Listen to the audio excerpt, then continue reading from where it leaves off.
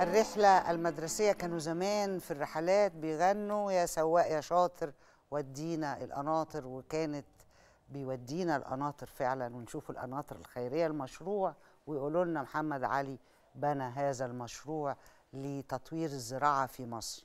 مع ملف مهم الرحلة المدرسية ضرورة ولا رفاهية؟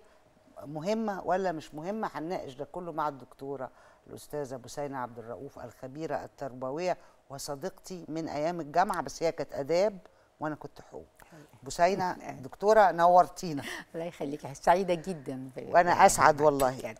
إيه الرسالة التربوية اللي, بن... اللي المدرسة بتوجهها للطفل لما تطلعه رحلة لمول يركب مراجيح وزحاليق؟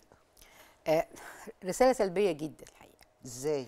لأن اما أنا آه، الطفل اما يخرج عشان يركب زح- زحاليق ومراجيح. ويتفسح في المول هو بيروح مع اهله أصلا آه، ال- ال- المول عشان بيعمل نفس الإجراء. لكن المفروض المدرسة دورها مش ده. آه ليها دور ترفيهي طبعا. الدور الترفيهي ده مهم جدا.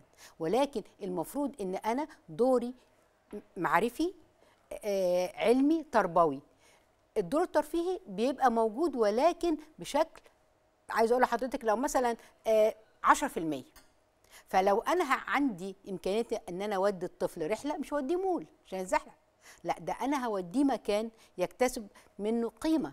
هي اهله رحلة أهله مهمة؟ مش مش مش هيودوه. يعني دي الفكرة إن أهله مش رحلة. مهمة ولا في أهالي بتقول دي بتضيع وقت العيال ومفروض يذاكروا وينجحوا بلاش دوشة.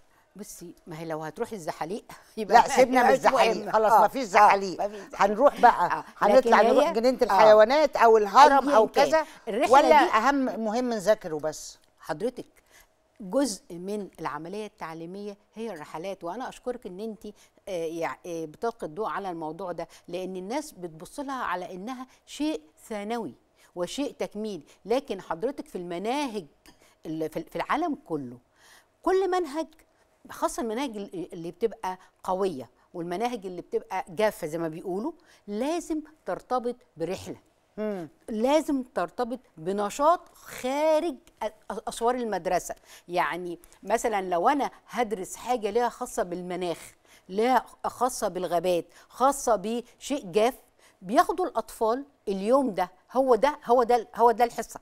آه. دي الحصة بتاعتهم هم- عملي. عملي إن هم هيخرجوا للغابة دي وإن هم هيقعدوا يدرسوا طول النهار ال- ال- الجزء اللي في الغابة ده يدرسوا الفراشات ودورة حياة مثلا ال- ال- الفراشة يدرسوا الحيوانات اللي موجودة يدرسوا الغابات درسوا علوم درسوا جغرافيا درسوا في اليوم ده إحنا في مصر بما إننا يوم. بندرس تاريخ آه. فبدل ما نقعد نقول خوف وخفرع ومنقرع. نقول خوف وخفرع ومنقرع ونوديهم الهرم دي مثلا. أنا عايز أقول لك إن اذا هو منهج منهج. يعني أي أي واحد بيحط منهج مدرسي خاصة المناهج الحديثة المطورة حديثا لازم يحط النشاط والنشاط مرتبط برحلة. اذا حضرتك بتقولي ببساطة إنه عدم وجود الرحلات المعرفية إن صح التعبير لأطفالنا ده نقص في حجم المعارف المفروض نقدمها طبعا. لهم. لا ونقص كمان في كيفية اكتساب وحب هذه المعارف.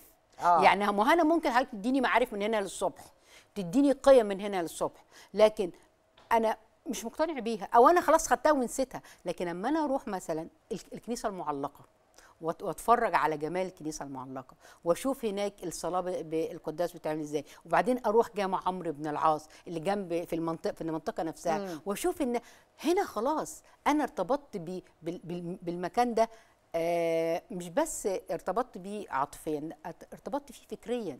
حسيت قد إيه إن إحنا بلد غنية وحسيت إن إن إن مفيش فرق بيني وبين بلد فيها تنوع وفيها قبول. ومفيش فرق في في في, في البشر دول والبشر دول. لو كان في بعض ال ال ال في الأسرة مثلا آه، اللي هي بعض الأسر آه. المتحفظة فأنا شفت الواقع ده ده مش موجود. شوف اديته كام قيمة؟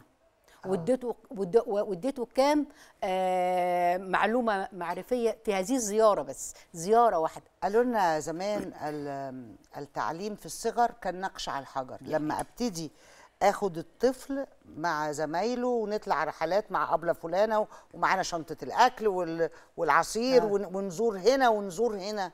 هل هذه المعارف هتؤثر في وجدان الطفل وت- وتبقى ترسخ يعني ولا طبعا هتأثر طبعا شوفي انت دلوقتي أنا شخصيا أما حد بيقول لي قناطر خيرية على طول بفتكر الرحلات اللي كنت بطلعها وأنا صغيرة للقناطر الخيرية. وعندي ارتباط عاطفي كبير جدا بال- بال- بالمكان.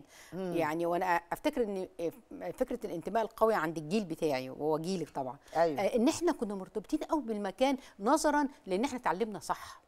كنا مرتبطين قوي بالبلد قوي- إحنا قوي كنا يعني. أتوبيس الرحلة وهو واخدنا رايح المتحف ولا رايح الهرم ولا رايح كنا طول ال- الوقت نغني فدائي فدائي آه. الأناشيد الوطنية الأناشيد أقول الوطنية أيوة. بنغنيها طول الرحلة رايح راجع كجزء من البهجة الجماعية بالظبط الأجيال اللي فاتت دي اتحرمت من آه. حاجات مهمة